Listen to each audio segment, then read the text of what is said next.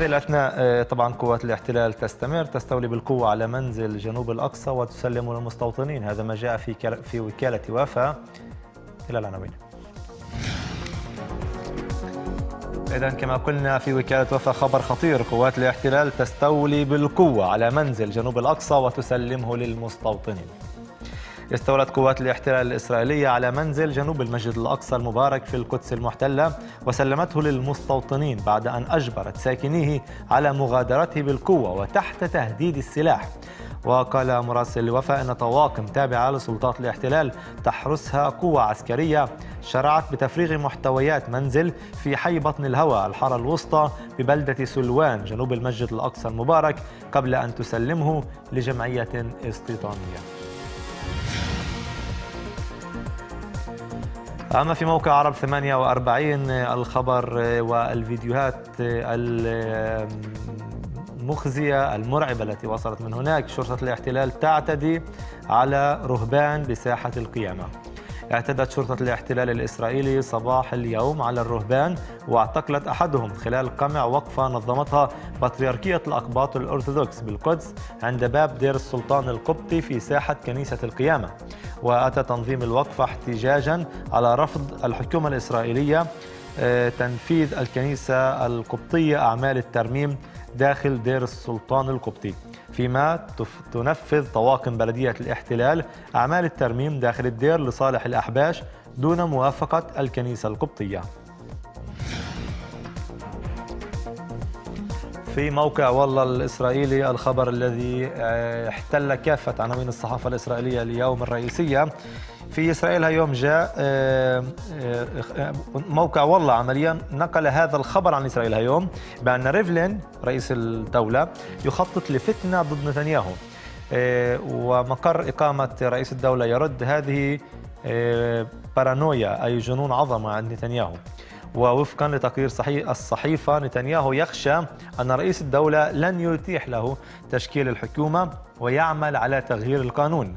مقر الرئيس رد هذا جنون عظمة لا يعتمد على أي أمر حقيقي ملموس. يجب ترك العلاج للمهنيين الذين لا يتحدثون ويثرثرون كثيرا. مصادر قريبة من رئيس الوزراء قالت تم إنشاء المؤامرة من قبل مسؤول سابق في الليكود وفي إسرائيل اليوم عن نفس الموضوع الخبر المركزي بسبب الخوف من ريفلين نتنياهو أوقف تقديم موعد الانتخابات. كتبت صحيفة إسرائيل اليوم أن رئيس الحكومة الإسرائيلية بنيامين نتنياهو قرر في اللحظة الأخيرة الامتناع عن تقديم موعد الانتخابات وذلك بداعي أن مقربين منه وقفوا على مؤشرات. مفادها أن الرئيس الإسرائيلي آه، آه، روفي ريفلين لا ينوي إلقاء مهمة تشكيل الحكومة الجديدة على نتنياهو حتى لو فاز. وبحسب الصحيفة فأن نتنياهو أشرك مقربين وكبار المسؤولين في الليكود بهذه المخاوف. وأجرى مشاورات التباحث بشأن الطرق التي يمكن بواسطتها معالجة هذه المسألة وأضافت أن إحدى الطرق كانت تغيير القانون لمنع حصول مثل هذا السيناريو. يشار إلى أنه بحسب القانون فإن رئيس الدولة الإسرائيلي يستطيع بعد الانتخابات إلقاء مهمة تشكيل الحكومة على أحد أعضاء الكنيست إذا كان من المحتمل بدرجة عالية أن يكون قادرا على تشكيل ائتلاف حكومي وذلك بعد إجراء مشاورات مع رؤساء الكتل في الكنيسة الجديدة في خبر آخر إسرائيل اليوم كشفت من هو هذا المسؤول السابق في الليكود الذي يخطط لهذه الخطة. يقولون عن جدعون سعر وهو وزير سابق بأن هذا كلام مئنة ونظرية مؤامرة سخيفة بمعنى بأنه ليس هو من رتب ما يدعون بأنه رتب. ورد الوزير السابق على النشر الذي كان في إسرائيل اليوم وآثار النظام السياسي في إسرائيل بأن مصادر مقربة من نتنياهو أو مصادر آه، كانت سابقا مقربة والآنية في الليكود. وراء آه، منع تشكيل الحكومة آه، قال بأن هذا آه، تخوفات عفوا ليست في مكانها وسخيفة. وأخيرا في واينت في هذا الخبر ردوا من بيت رئيس الحكومة بأن نتنياهو يعاني من جنون العظمة لأنه يفكر بهذه الطريقة. ورد ريفلين على التقارير تفيد بأن رئيس الوزراء يعتقد أن الرئيس الدولة لن يتيح له تشكيل حكومة بسبب تصفيات قديمة بترتيبات مع مسؤول سابق في الليكود بأنها تلفيق مؤامرة ووزير سعر يقول لا أساس لهذه الأقوال.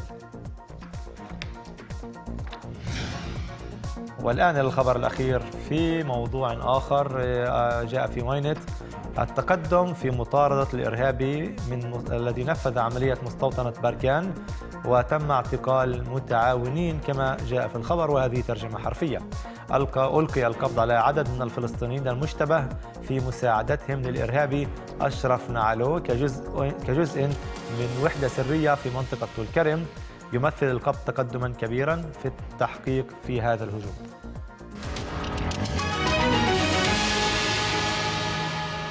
إذا يقولون بأنهم اقتربوا من تنفيذ الاعتقال بحق أشرف نعلو منفذ عملية بركان. ورأينا بأن في إسرائيل هنالك عاصفة سياسية. نتنياهو يقول بأن هنالك مؤامرة كانت عليه بينما رئيس الدولة يرد بأن هذا جنون عظمة. وساعر الذي كان سابقا وزير الداخلية من طرف الليكود يقول بأنهم يتبلون عليه ولا أساس لهذا الكلام. في مسألة الاعتداء الذي تعرض له رهبان من الكنيسة القيامة وهي اعتقال أحدهم في بطريركية الأقباط الأرثوذكس معي عبر الهاتف الصحفية نسرين ريناوي. يعطيك العافية نسرين. كريستين. كريستين عفوا. كريستين عمليا ما الذي حدث صباح اليوم وكيف تم هذا الاعتداء؟ نعم يعني كان هنالك وقفة في ساحة كنيسة القيامة وقفة احتجاجية سلمية لرهبان آه، الأقباط الأرثوذكس احتجاجا على قيام بلدية الاحتلال بترميم دير السلطان عنوة ودون موافقة من الكنيسة آه، القبطية. آه، كانت الوقفة بدأت عند الساعة السادسة وذلك تزامنا مع وصول عمال بلدية الاحتلال. شكل الرهبان بأجسادهم دروعا بشرية وحواجز ومنعوا العمال من الدخول. شرطة الاحتلال وقواته اعتدت بالضرب نكلت سحرت اعتقلت أحد الرهبان وكان هنالك اصابات في صفوفهم. الاعتقال بأحد الرهبان يعني استمر لدقائق عشر دقائق أو ربع ساعة. بينما تدخلت السفارة المصرية من أجل الافراج عن هذا الراهب. آه، يعني من المفترض أن رجال الدين هم محميون ولديهم حصانة إلا أن قوات الاحتلال تخترق كل المعايير والمواثيق الدولية والإنسانية والدينية. لذلك يعني ضجت القدس في هذا الخبر. آه، انتشرت مواقع على مواقع التواصل الاجتماعي فيديوهات ومقاطع فيديوهات تظهر هذا الاعتداء تظهر السحر. تظهر آثار آثار الإعتداء انتشرت كالنار في الهشيم على مواقع التواصل الاجتماعي بطبيعه الحال هذا عدوان جديد ينفذه الاحتلال بحق المقدسات آه، المسيحية على غرار يرتكب من جرائم بحق المقدسات الإسلامية.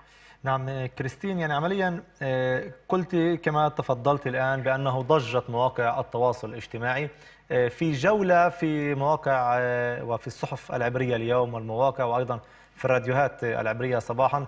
يعني تقريبا تقريبا لم يذكروا هذا الموضوع. رغم بأن الاعتداء آه، آه، يعني خطير وهو آه، كما تفضلت اعتداء على أشخاص يلبسون لباسا يمثل يعني ديانة مهمة كبيرة من المفروض أن العالم يضج لها. السؤال كيف يعني تفسرين؟ هذا الهدوء النسبي آه، مقارنة بكبر الخبر الذي كان على الأرض.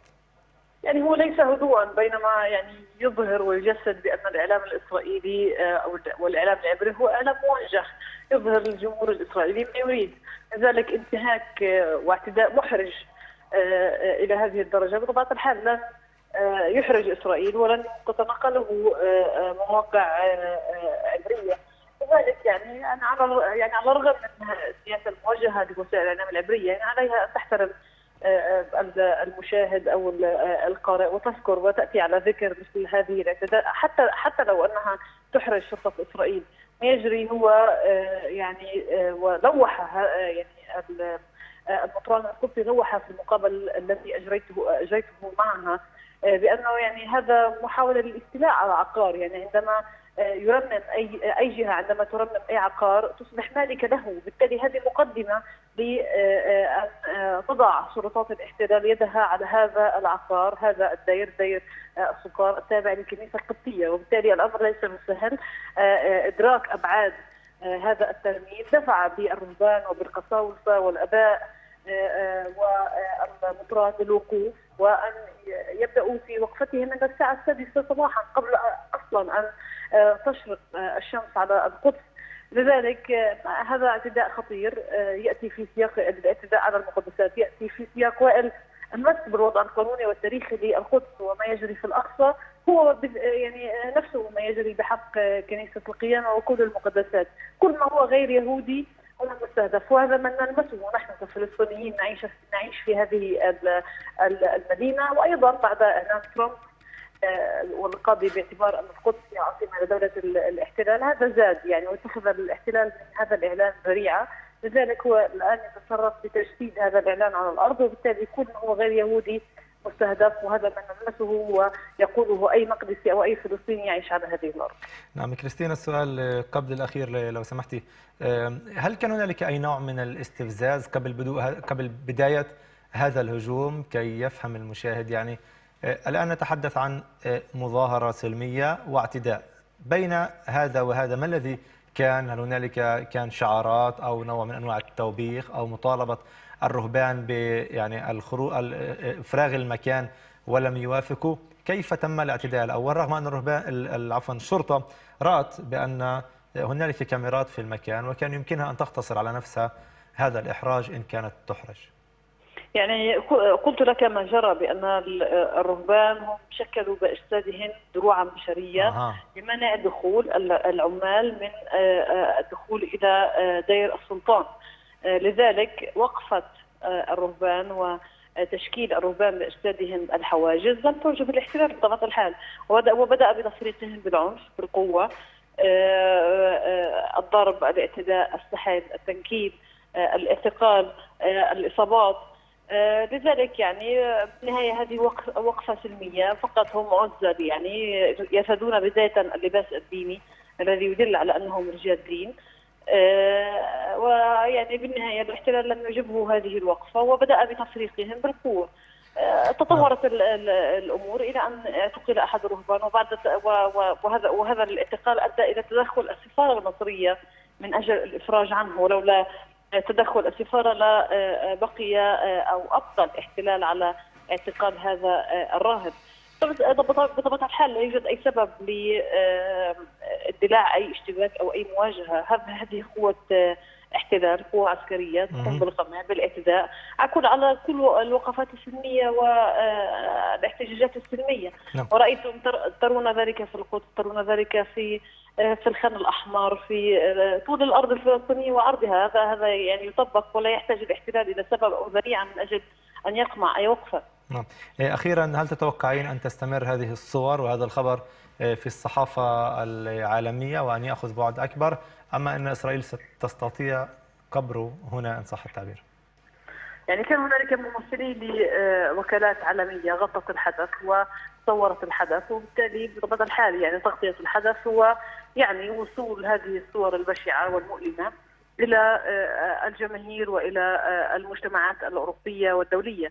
لذلك يعني مهما يعني سيطرت إسرائيل على وسائل الإعلام لدول تابعة أو أو منحازة لها لن تستطيع السيطرة على مواقع التواصل الاجتماعي التي تتناقل وتترجم هذه المقاطع وتفضح ما يجري من انتهاكات. بالنهاية نتحدث عن كنيسة القيامة وكل ما يحيطها. هذا يعني يمس كل المسيحيين في العالم. لا يمس المسيحيين في فلسطين أو في الشرق الأوسط يمس كل مسيحي أو وكل حر أيضا. يعني ما جرى من اعتداء هو مس الفلسطيني المسلم. والمسيحي ليس فقط المسيحي كل أحرار العالم تهزهم هذه المشاهد ولا يعجبهم هذه الاعتداءات.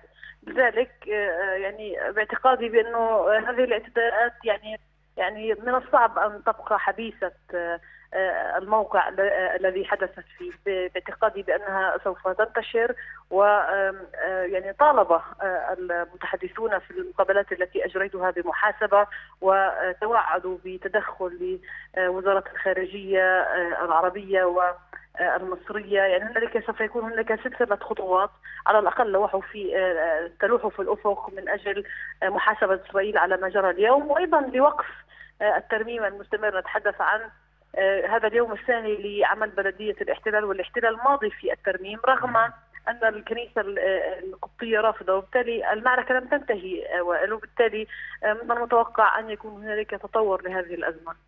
العزيزة الصحفية كريستين ريناو شكرا جزيلا لك.